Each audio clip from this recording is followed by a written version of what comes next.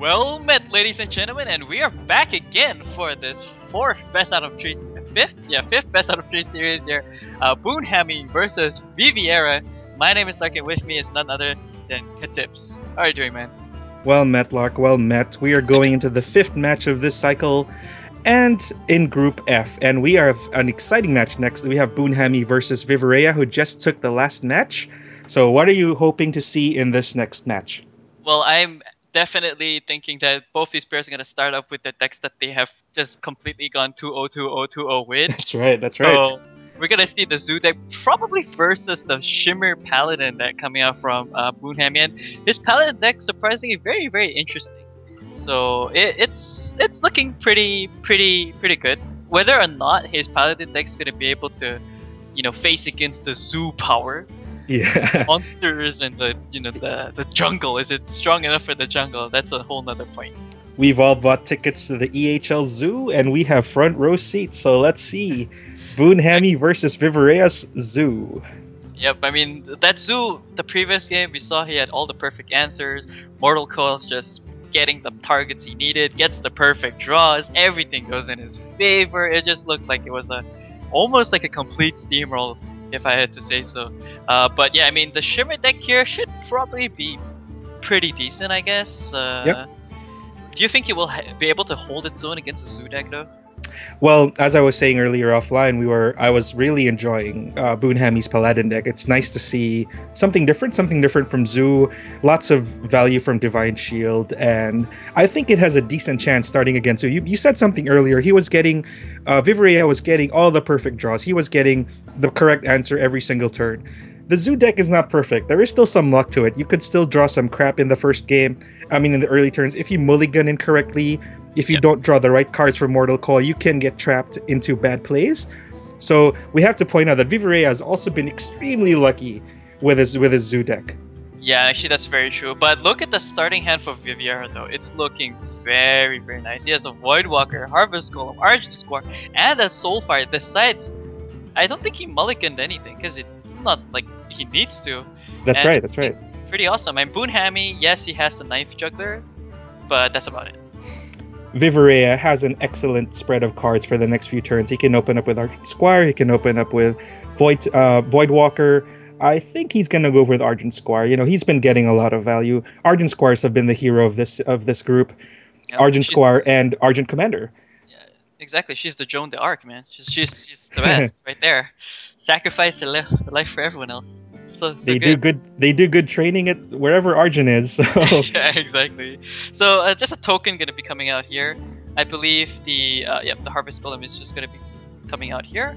Trades for that little token on the board, especially against a Paladin, and I think he knows a little bit that you know this Paladin coming up from Boonhammy is quite intensive on the buff, so you definitely do not want to leave a single token on the board.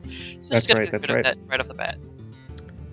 Viverea has a very strong turn three when it comes to his side. He has a Void Walker into Doggy play, which would give him a nice little boost in damage against Doon, uh, Boonhammy. Yeah, in fact, he can actually trade perfectly here. He just needs to, yep, there go, Dire Doggy, kills off that little, uh, Perfect little play. there. Void Walker. Now, I believe he is actually in a really good spot because that's a 2-3 board, uh, board walker, void walker. The board walker. it's a board walker, guys. Yeah. Very, very strong indeed. And Argent Protector though will kind of save the day against uh, some aggression. Oh, in fact, the dagger lands onto the Harvest Golem there, so that's kind of uh, hilarious to see. Now there is another void walker here for Viverea, and it's unfortunate that he doesn't run into any of his knife uh, his own knife jugglers. But I think here he definitely wants to trade the Dire Doggy Oh, he's actually got a Soulfire. And he loses his Voidwalker. I guess that's fine, I guess, since he wants to keep that uh, that 2-1 on the board. Uh, um, Viverea's following your advice. He's taking on all the possible creatures that can get buffed, that can get Divine Shield from the Argent Protector. So he's making a point to keep the board clear, not overcommit with his minions because of stuff like that. Here we go. Here comes Consecration from Boonhammy. And this is sad face right now. Like Viverea is probably thinking, okay, that sucks. Because look at his hand. The next turn, he will probably be forced to play a Doom Doomguard, but he will lose it if he he will lose the other one. So I guess he should go with the safer one here. Lose three life, actually five. He gets a knife juggler. I guess he should have tapped first, so that was a bit of a mistake. He could have Yeah. one damage in. But nevertheless, he's got two pretty decent creatures aboard. And do you think this is gonna warrant another consecrate? I think it's safe for Boonhammy to consecrate because he still has card advantage. He's going to be trading two cards for one. That's still an advantage in his favor. And Vivier only has two cards left. One of them potentially eating the other. So Yeah, if I if I were him, I would actually just consecrate here. It just feels so much of a value. So he's actually gonna go ahead and trade here, which is Ooh. oh my god, every he's going to Soulfire. wrong- Yeah, Whew.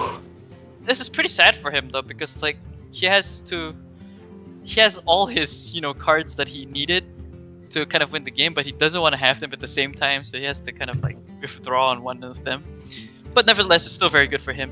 Deals uh, 5 damage to the face, down to 17 life, the paladin that is, and still he has no heals yet. Yep. So this is crucial for any Paladin deck. They're going into turn seven into turn eight.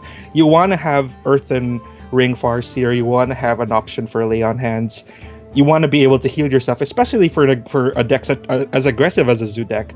He's going to have problems dealing with his Doom Guard now. He's probably regretting not consecrating earlier and having an answer for that instead. Probably, yeah, probably. And I think that here, um, do you think he should just token, taunt up the token, and then bubble the token? That's certainly an option that'll stop. Uh, he has to be aware that Viverea doesn't have any cards in hand, so he's also used both Soulfires. So that he should that's something he should keep in mind. Yep, so it seems like he's gonna Argent Protector the token here, and taunt up both his minions, so Mhm. that's very, very good. Very solid. That's practically three minions that he has to kind of run through. That's right. uh, Shield Bearer actually. Oh, and a Scarlet Crusader. So again, really no real direct sort of damage here. So he's gonna have to be forced to run his minions in. I believe here it's just gonna run his 5-7 to 2-2, 3-2 to the 1-1. Pop that Yep. little bubble there, and still looking pretty good though because uh, True Silver Champion will be coming out here, I believe. Oh, he has It- to Equality Consecrate. Okay, maybe not. He, could just a Equality Consecrate. Ooh, just the right turn to have it. That's that's gonna be pretty crucial. Yeah, it's actually He's gonna probably want to run his dude into the uh, shield. Into the shield first. I think there's really no, without a doubt, he has to call it What? It's too good to pass up. Oh, He forgot. uh, I guess it's fine. It's the same Oh, that's thing. fine. Yeah, that's He fine. Same still thing. runs one one. Yeah. So without a doubt, he's able to clear that off the board. He has two and a one on the board. He has that YOLO rag, so to speak, coming up.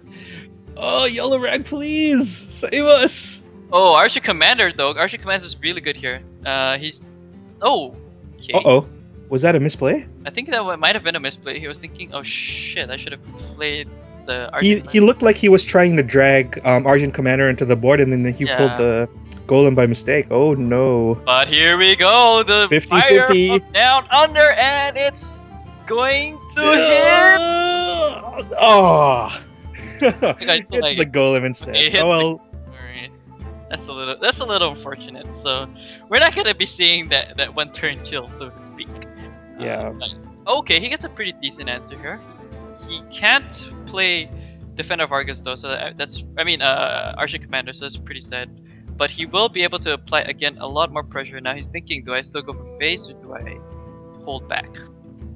So now Viverea has a 25% chance of living rather than the 50-50 situation we had earlier with Ragnaros. So he is still not out of this. He still has a chance. That's some pretty strong creatures on the board. He got value from that Divine Shield. Well, actually, he wins the game. He can just silence his Ragnaros and run Ragnaros into the five five into the into the into the face. Like Right. he, he can There we go. Yep. and he can even true silver champion kill off the two. Okay, okay. He Or- that was a misplay, I think. Yeah, I think he could have just won. Well, it doesn't really matter. Doesn't really matter. Same result. He wants to he wants to win in style. Of course. Oh, so here we go. Fireball to the face. That's gonna mean Viverea Zudek, unfortunately, dies so quickly and is burned to a crisp by the flames from down under Ragnaros by fire. Viverea purged by fire. We're seeing Ragnaros getting tremendous value as an 8-8 with an 8 to target. And with Tinkmaster benched, again, all of these legendaries coming out to play. we're seeing a lot of action from them, so that is very exciting. I really like that finish. Yeah, It's pretty. It's a really good way to end that uh, very first game here in this best out of three series. I'm pretty interested to see how game number two is gonna go. Are we finally gonna see a three game series? Or are we only gonna see two games? Now that is gonna all come down to how well this uh, Shimmer Paladin deck that Boonhammy is running is gonna do against whatever Viverea is going to play next. What do you think Viverea should play as his next deck here? Oh well, let's see what his options are. He's left with. I have to actually. Why don't you describe Yeah, uh, what yes, the uh, next results have to be, and then I'll, I'll pull I'll pull up a Viverea's decks and see what his options are. Okay, sure. Well, for okay, so basically this is Or he can tell me himself. He's playing Hunter. All right. Yeah. So right, finally we get to see a hunter. Uh, but this is the hunter coming from Viverea. Now this is actually a control hunter, if I'm not mistaken. That's right. This is the control mid-range hunter made popular late last season, I believe. And it runs Houndmaster, it runs Animal Companion, it runs fr- freezing traps instead of misdirection. There's some some amount of misdirection in there. But the point of this is to have efficient removals, deadly shot, and then still having beefy creatures. Now the highlight of this type of deck is of course the Savannah Highmane. That's a 6-5 on the board with a death rattle to give you two beasts, additional beasts, that can still power your buzzards, that can still power your kill command. So I really like this deck. I'm a really big fan of this hunter control deck. Same. It's uh, it's made a lot of progress ever since. Uh, you know, it seemed like everyone was just playing. Yeah, let's go rush to the face, and then suddenly, oh, here we go. We have a little bit of a control hunter, and it does play out very nicely. Look at that. Vivier actually gonna go ahead and throw down the Timberwolf because he knows he's against the. Sh- uh, I was about to say Shaman against the Paladin, and he can't really deal with that just because of the way his hero power works. Here comes Misha. Oh, Misha, perfect, perfect uh, RNG there, and that's a 5-4 by the way, so that's pretty difficult to run through. So we could see, after all the slaying of the dogs that we've been seeing all series long and even yesterday, we could see an attack of the dogs this time around. Blessing of Might actually gonna be the perfect answer here. So, what a way to to use that uh, to use that buff, and it's gonna instantly deal with Misha. So that's actually pretty decent. if you think about They it. just handed that dude a gun. Shoot that bear. Here we go. exactly go, but at the same time you're gonna die.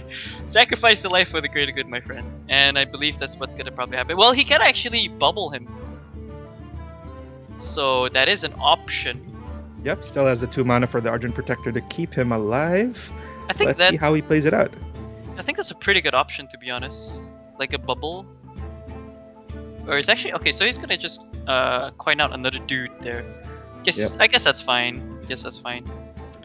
So Viverea choosing to play his weapon, which synergizes well with the Hunter traps, because every time a trap is activated, that bow gets another chance. And now again the Timberwolf is gonna be surviving, so looks pretty sad right now for Boonhammy. Though Boonhammy has a weapon of his own, so they can start clashing with their swords right here. Well, more like a sword and a bow. I think we all know who's gonna win that exchange, but it seems like he's just gonna go ahead and play his little uh princesses there, all with their it's, shield. it's the Argent sorority coming out to play. Oh damn! Exactly. okay, so we've got the we've got the knife juggler here, and he's actually going to. Is he gonna silence? That's my question. Ooh, that's a pretty bold play. Let's see if it targets her. Wow, that is so lucky.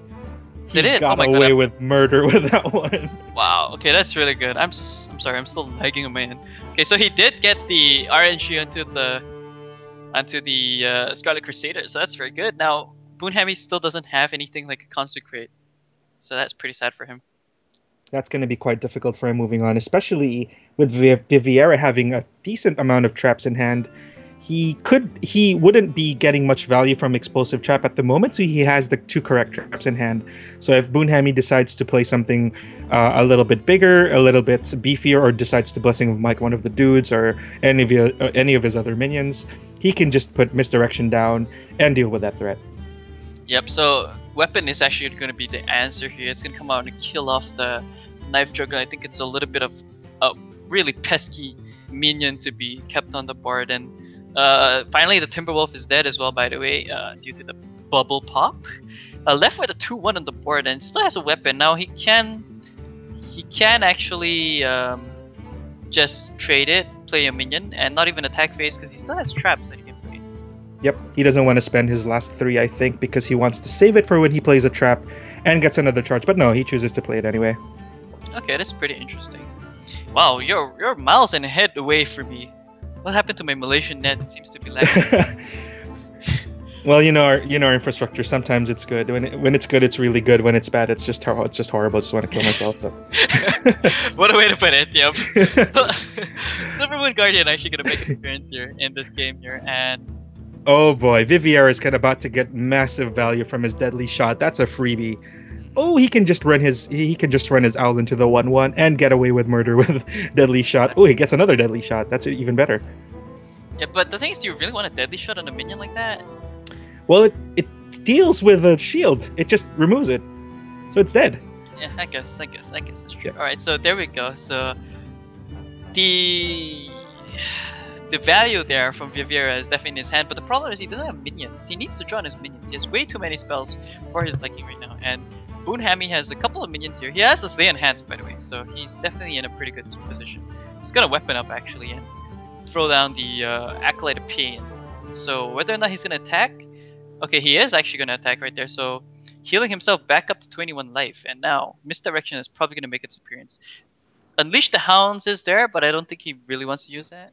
I think freezing trap is the better is the better answer right now. He's not gonna get much ans- uh, much value out of misdirection, that's only one damage if he chooses to attack with the Acolyte.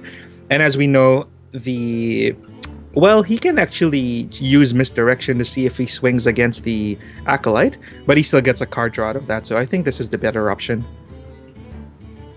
Well, either ways, I mean, misdirection is still good because uh, if he uses acolyte to run into the hero and there's nothing else on the board, it will just trade with the paladin. The paladin loses one life. He only gets one card draw. So still, I think misdirection's not that bad. So, oh, it seems like Freeze Trap is going to be the play here. It's going to proc. That's going to be a 5 mana cost Acolyte of Pain, uh, which he can actually still play if he wants to. That's right. What do you think he's going to do here? I think he's meant, he's going to take a swing at him and then just launch another dude. Okay, so he plays Acolyte of Pain plays the This is again. a second. This is a second True Silver champion, right? He's already used his first one. Yeah, exactly. So, yeah, I can see it on the side. Okay, that's right. Yeah, so he needs to be a little bit careful there with his usage on that weapon. That's his last weapon charge. And Misdirection probably going to be coming out here. He can unleash the hounds, but that doesn't do anything. I guess his best play is just to hide the tiger on the board first. So let's see what he decides to play with. He can play Tiger to have it come down in and come out in a much more opportune time. He can choose to do that. He can probably play his trap. That's pretty safe. Unfortunately, if he decides to attack with his um, with this dude first, it might run the risk of running into the acolyte and giving him cards. So that's a I think that's a risk he's willing to take. Well, nonetheless, it seems that uh, Viverea is actually going to just. Ooh, okay. Oh, here we go. The secret is going to be popped, and that is being popped by a little dude there. Actually hits a face for only one damage, so it's not that not thing that can happen right now. Throws himself against the 4-1 sword of his commander. Yeah, I'm exactly. sorry, boss. You know, he was like, he wanted to. It's mutiny. it's just that it failed so badly. Sunwalker, actually, a very nice card here, and that is truly deadly annoying. shot Deadly Shot now has a 50 50 of taking out the Sunwalker. That's going to be very crucial. Mm-hmm. Do you think? Oh, do you think he should actually knife juggler into the wolves? I mean, he has enough mana for everything, so I think he should just go. All right, here we go. So probably should play the knife juggler first. There we go. The knife juggler is going to be placed on the board. Out comes lucky pop. Lucky pop. There we go. Out comes the shield. Where does the other one land? It is going to land on the face. So that's pretty good. So I think that's a lot of value from Deadly Shot also because it prevents uh, deal using Deadly Shot just destroys the minion. It doesn't do any damage to him. So Boonham, he can't get any cards off of that trade. Yep, and here I believe that he does he still doesn't have his consecrate, so he can't deal with this. So that's a little bit unfortunate. He does have a Equality. Blessing of Kings is there by the way. Now lay on hands. Wow. Oh, there we go. There's the consecrate but it doesn't Ooh. have the mana to play it. So I guess you should probably play the shield, or not even. I think he can. Hmm, he can take a swing at the The five one. Ah, I don't know. I'm thinking actually against the knife juggler. Yeah, I guess that's a pretty good choice as well. But he's just gonna do it and end the turn. See. Ah, goes for face. That's an Face, interesting. Ooh, okay. Explosive trap coming out. Explosive Trap is really good here, but again, he's gonna lose his entire board. We all know what's in hand for uh, Boonhammy, and that's the Consecrate. Consecrate's gonna be able to get a lot of value here. So the trap is played. He Yep. trades the minion, and he hero powers up. Tiger, Tiger, burning bright with consecrate on the board. Kaboo. There we go. Instant win there for uh, Boonhammy, and now Viverea is down to 17 life, but the thing is, he's still gonna win the race. The heal has already been used. He can just keep hero powering up, honestly. But of course, Argent Commander is in hand for Boonhammy. You can always play that if he wants to. There are always um, Farseers as well. He can he he hasn't played either of his Farseers, so that can still bring him up. hmm So there we go. Reinforce and just a little dude there. 50-50 bro or bro girlfriend. Oh, he goes for the bro. Aw. Why would you chase after girlfriend? Come on. the shield is too strong. Now we're definitely gonna see a blessing of kings on it, and maybe even a blessing of wisdom, and that would probably just swing into the three five. So that's pretty good. I actually think that he should do that. He's probably thinking, could that be another misdirection and work against me, or could it be freezing trap to get rid of it? He doesn't know that it's an explosive trap because we've only seen one of each freezing trap and misdirection, so that might be his consideration right now. And that's why he's like just pulling back on his, uh, on his, uh, you know, his cards in hand. Now, Yeah. he can potentially just attack into the face. I think that's the best way to see what trap it is. It's explosive, so it still survives. He can still buff it up and still shield it and still put Blessing of Wisdom. I think what he needs now is a ton on it because he is dangerously low in life. So here, I think yeah, Argent Commander the better play. Just go for face, or do you think he should just kill off the five? I mean, he is actually at eight life, so he probably should.